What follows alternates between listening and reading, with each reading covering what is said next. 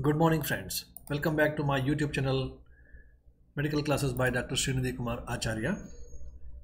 Don't forget to subscribe my channel and also please give your valuable comments. So, friends, uh, we were discussing about different uh, vital data in the due aspects of uh, history taking. So, we have completed up to place, age, name, sex, educational status, and place has been completed. Now, what is the importance of religion and caste? Caste or religion in the history taking which will be covered in the context of vital data. Now we know that uh, as far as the medical history is concerned, uh, taking history of the religion and caste or one particular uh, uh, religion, caste or panth, so that is very important because that gives some of the clues in the medical history. Okay uh, because we know that uh, caste wise in India especially the tradition will going to change. The food habits will going to change and the lifestyle will also going to change. And uh, different social activities going to change according to the caste. So uh, knowing the caste is of little medical importance. Now if you talk in India especially Hindu Muslims Christians Sikhs Parsis so many castes are there okay or religions are there rather religions are there. And even in one religion there are so many subcastes are there.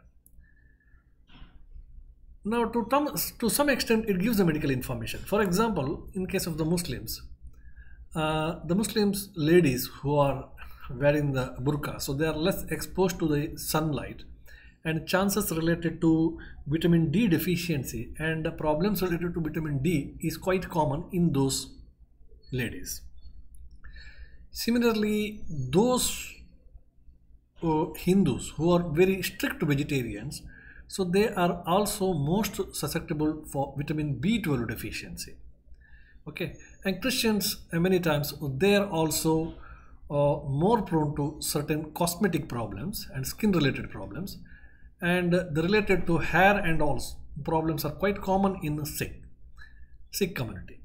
So like this, to some extent, this particular uh, religion and caste, so that gives some medical clues for which helps in the further diagnosis. To take some of the important aspects now, uh, for example, in case of Muslims, there is a custom of uh, early circumcision. And uh, uh, it may be done under medical supervision or it may not be done under me medical supervision. So when it is not done under medical supervision and uh, the chance of complication is there chances of infection is there and related problems may be there. And there are some subcaste or caste system which existing and some of the food habits are accordingly. For example there are few uh, subcaste within hindus so those who do not take the uh, uh, garlic okay? Or they used to prepare the food in particular vessels. And uh, so those who start annaprasana quite later in the neonatal period uh, infantile period. So these are some of the issues that helps uh, to take some of the medical clues. Okay.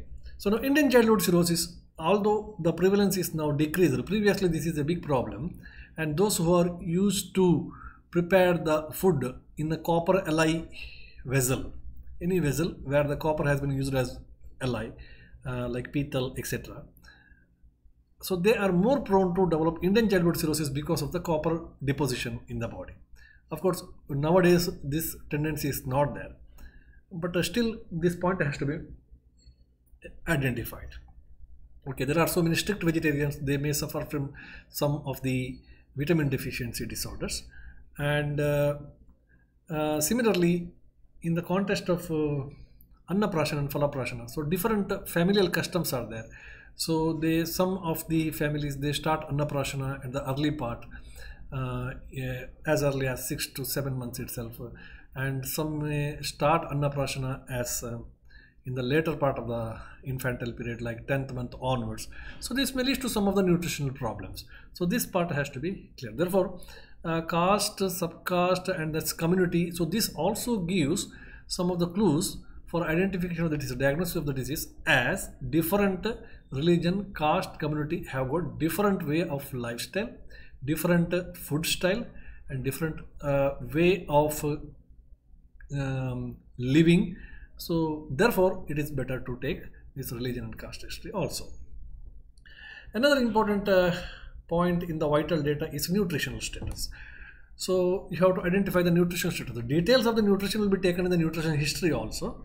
But uh, this much of a, um, a small information should be also gathered in the vital data. What about the nutrition status? Whether they are uh, uh, well built or poor built where the nutrition is proper. Now in the nutrition what you have to take? You have to take quality and quantity of the food that has been taken. A total amount of the food which is prepared in the home and how many uh, within how many people this particular food has been shared. Okay? So number of members in the family and the number of earning uh, person in the family or total earning capacity. So that has to be estimated. And uh, later the whether the food they are taking whether it is calorically rich or not. So whether the food the nutrition they are taking so that is a complete food or not okay. So what is their staple food? What is their uh, concept of complete food whether it is or balanced food whether it is followed or not? They may be taking lot of rice but it is not considered as complete food. Okay. So uh, they are not taking the ghee at all or oil at all in their food. It's not a complete food. So like that food hygiene nutritionally how much they are aware which type of nutrition are there? Because nowadays the most common problem is malnutrition overnutrition and undernutrition both. Malnutrition means abnormal nutrition overnutrition means obesity exogenous obesity and undernutrition means poor nutrition. Okay. So all the three problems are common. Therefore uh, uh, those who are having good amount of uh, economical support so they are now developing overnutrition. And those who are not having the money so they are developing undernutrition so that part has to be cleared. Then food hygiene is over complete food concept is over. Now junk food. Okay nowadays this is a, a biggest problem. So people are involved in the involved much intake of uh, junk food. So uh, this is also not good. So i will not go in detail trans fat and all those things. Okay adulteration of the food is also big problem now. And also natural food very few people are taking. Therefore the nutritional status how is their nutrition whether they are aware of the quality and quantity of the food caloric aspect of the food whether the food which is prepared in their home is sufficient for all the members, how many members are there, what is the staple food, whether they are involved more in junk food, whether the food hygiene has been followed or not. So this point, all these point has to be asked in the nutritional status. Okay, nutritional uh, uh, status. Then you have to discuss whether it's a uh, well built, moderate built or poor built. Of course, the same point also comes in the uh, general examination also. Okay in the general examination we'll have there we'll have the detailed examination but here it's just information about the nutritional status. Another one is the marital status.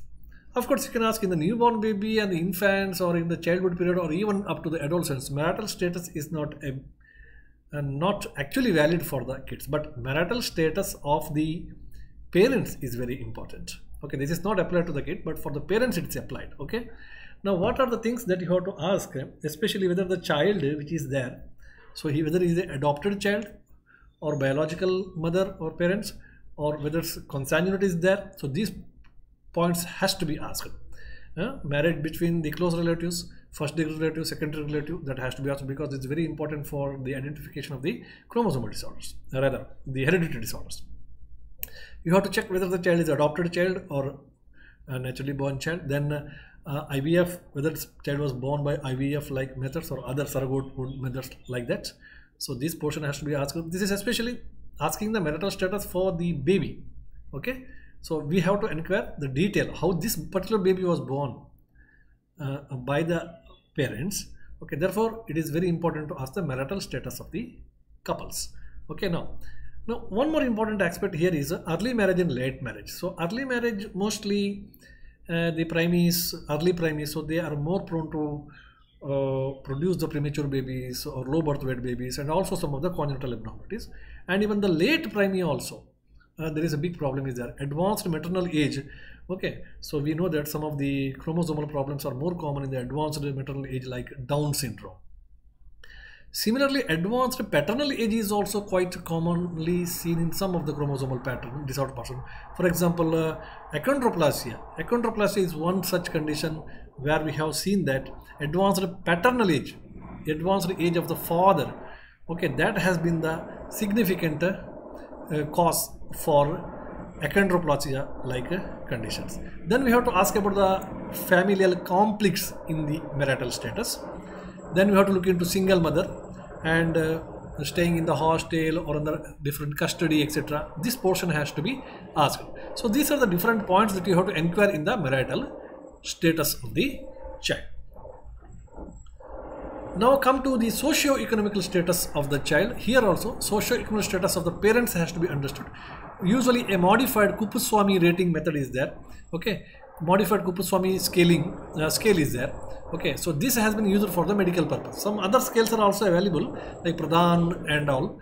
Okay but uh, modified Kuppuswamy uh, uh, scaling for uh, socio-economical status has to be followed for the medical purpose. Uh, then uh, economical status is very important to provide the good nutrition we know that. Okay so if uh, economy is very poor then there's a poverty and the starvation like problems are quite common so undernutrition overnutrition has to be seen the other important data are IPD number, OPD number, bed number, ward number and date of admission and date of discharge. So these are some of the essential part which has to be understood when you are taking the vital data. So, so far we have seen different vital data. These are called as vital data because this is very vital. Okay. So the next class onwards we will go with the, the further parts of the uh, history taking and uh, this is about the vital data. Thank you very much. We will meet again.